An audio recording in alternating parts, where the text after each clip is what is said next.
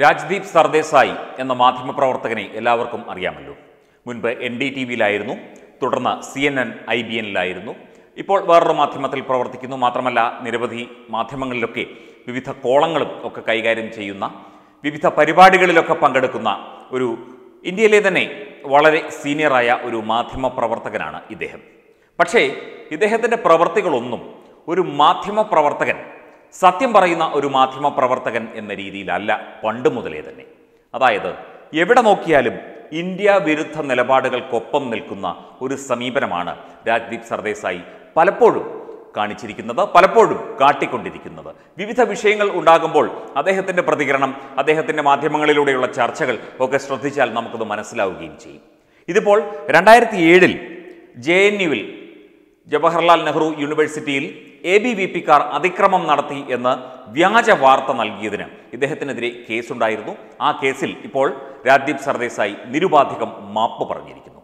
ഇപ്പോൾ മാപ്പ് പറച്ചിലിന്റെ ഒരു കാലം കൂടിയാണല്ലോ. അതായത് പ്രധാനമന്ത്രിയെ അസഭ്യം പറയുന്നു തുടർന്ന് മാപ്പ് പറയുന്നു.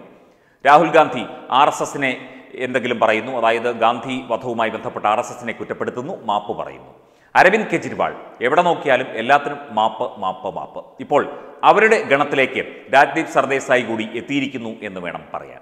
വിവിധ മാധ്യമങ്ങളിൽ ഇരുന്നു കൊണ്ട് ആ സ്ത്രൈണ ശബ്ദത്തിൽ കിടന്ന് അലറുന്നത് കേട്ടാൽ ഇദ്ദേഹം വലിയ എന്തോ ആളാണെന്ന് തോന്നും. ഒരു മാധ്യമപ്രവർത്തകൻ എന്നുള്ള നിലയ്ക്ക് നമുക്ക് അദ്ദേഹത്തോടൊക്കെ ഒരു ബഹുമാനം ഉണ്ടായിരുന്നു ചിലപ്പോഴൊക്കെ പക്ഷേ അദ്ദേഹത്തിന്റെ പ്രവൃത്തികൾ ഈ രീതിയിൽ മാത്രമായപ്പോൾ യാതൊരു ബഹുമാനവും ഈ വ്യക്തിയോട് രാജ്ദീപ് സർദേശായിയോട് ഇപ്പോഴില്ല. ഒരു മുതിർന്ന മാധ്യമ പ്രവർത്തകനായിട്ട് അദ്ദേഹത്തെ കുറേ മാമാ മാധ്യമങ്ങളും ഇതുപോലെ ഇടതുപക്ഷ മാധ്യമങ്ങളും ഇവിടുത്തെ കുറേ മാധ്യമക്കാരും പൊക്കിപ്പിടിക്കുന്നു എന്നുള്ളതല്ലാതെ ഇന്ത്യയിൽ ഒരു മാധ്യമ പ്രവർത്തനം നടത്തുന്ന ഒരു മുതിർന്ന മാധ്യമ പ്രവർത്തകൻ സത്യസന്ധമായി പ്രവർത്തിക്കുന്ന ഒരു വ്യക്തി എന്നുള്ള നിലയ്ക്കുള്ള ഒരു വിലയൊന്നും ഈ രാജ്ദീപ് സർദേശായിക്ക് ഇപ്പോൾ സമൂഹം കൊടുക്കുന്നില്ല മാധ്യമ പ്രവർത്തകരും നൽകുന്നില്ല എന്നാണ് അറിയുന്നത്. അതിന്റെ കാര്യം ഇങ്ങനെയാണ്. എ ബി വി പിക്കെതിരെ വ്യാജ വാർത്ത രണ്ടായിരത്തി ഏഴിൽ അതുപോലെ തന്നെ സൊറാബുദ്ദീൻ ഏറ്റുമുട്ടൽ കേസിൽ വ്യാജ വാർത്ത പ്രചരിപ്പിച്ചു എന്ന് ആരോപിച്ചും ഈ രാജ്ദീപ് സർദ സർദേശായിക്കെതിരെ ഹൈദരാബാദ് മെട്രോപൊളിറ്റൻ സെഷൻസ് കോടതിയിൽ കേസുണ്ട്.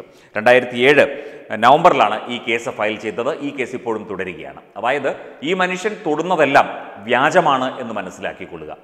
വേറെ വേറൊരു കാര്യമുണ്ട്. ഇദ്ദേഹം പറയുന്നതിന് നേരെ എതിർപദം ചിന്തിച്ചാൽ മതി. അതായിരിക്കും സത്യം. ഇപ്പോൾ ഈ കഴിഞ്ഞ ദിവസങ്ങളിൽ ജവഹർലാൽ നെഹ്റു സർവകലാശാലയിലുണ്ടായ കാര്യങ്ങളുമായി ബന്ധപ്പെട്ട് പല കാര്യങ്ങളുമായി ബന്ധപ്പെട്ടും ഇദ്ദേഹത്തിന്റെ പല പ്രസ്താവനകളും ഇദ്ദേഹത്തിന്റെ പല ഇന്റർവ്യൂകളും ഒക്കെ കാണുമ്പോൾ അറിയാം. സത്യം അതൊന്നും ആയിരുന്നില്ല എന്നുള്ള കാര്യം നമുക്കിപ്പോൾ ബോധ്യമായല്ലോ.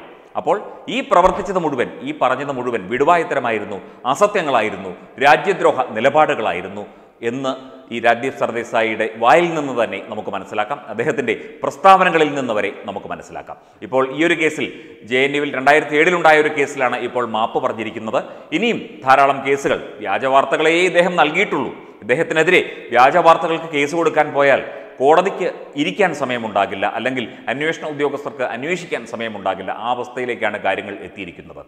ഇനിയെങ്കിലും പ്രിയപ്പെട്ട രാജ്ദീപ് സർദേശായി നിങ്ങൾ വ്യാജ വാർത്തകൾ നൽകരുത്. സത്യം സത്യമായി പുറത്തു പറയാൻ ശ്രമിക്കുക. അതാണ് യഥാർത്ഥ മാധ്യമ പ്രവർത്തനം എന്ന് ഇത്രയും സീനിയറായി നിങ്ങളെ ഞങ്ങൾ പഠിപ്പിച്ചു തരേണ്ട കാര്യമില്ലല്ലോ. നിങ്ങൾ ഇന്ത്യയിൽ അറിയപ്പെടുന്ന മാധ്യമപ്രവർത്തകൻ എന്നൊക്കെ സ്വയം വിലയിരുത്തുമ്പോൾ അല്ലെങ്കിൽ ആരെങ്കിലുമൊക്കെ പറയുമ്പോൾ ഒരുപാട് അങ്ങ് ഗമ കൊള്ളണ്ട. നിങ്ങൾ പറയുന്നതെല്ലാം പച്ചക്കള്ളങ്ങളാണ് എന്ന് ജനങ്ങൾ തിരിച്ചറിഞ്ഞു തുടങ്ങിയിരിക്കുന്നു എന്നതാണ് യാഥാർത്ഥ്യം. വെബ് ഡെസ്ക് തത്തുമൈ ന്യൂസ്.